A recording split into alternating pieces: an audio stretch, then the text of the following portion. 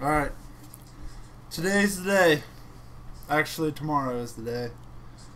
On November 3rd, we will not have to play this game anymore. Woo!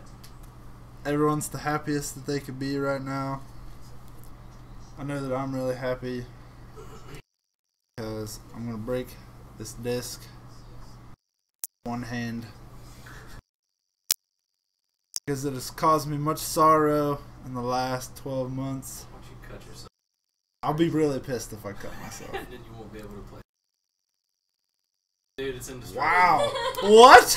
It's indestructible. Alright, if this tells you What? anything about how bad this game is, it can't even be broken. Dude, two handed.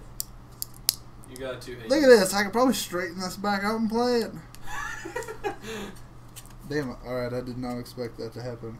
Now just make a video of you playing the bent version. What? Are you shitting me? Dude, every disc I've ever, like. What? What is I don't know what to do. There, There we we go. No, that's not even. Yeah, it is.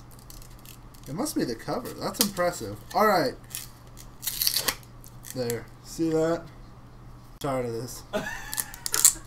Can't handle this game or anything it stands for.